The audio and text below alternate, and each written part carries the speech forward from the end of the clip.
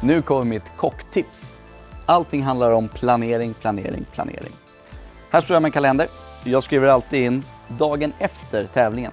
Tävlingen är den 17 oktober i år. Jag skriver in den 18 TV4 morgon, för det är det som är målet. Sen så räknar jag bakåt ifrån tävlingsdagen och skriver in alla viktiga datum och det är därifrån jag planerar.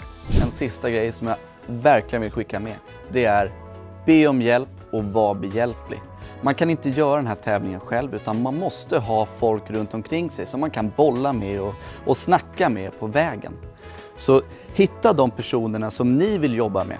De personerna som ni litar på. Det behöver inte vara den bästa matlagaren eller den absolut bästa coachen utan personer som ni litar på.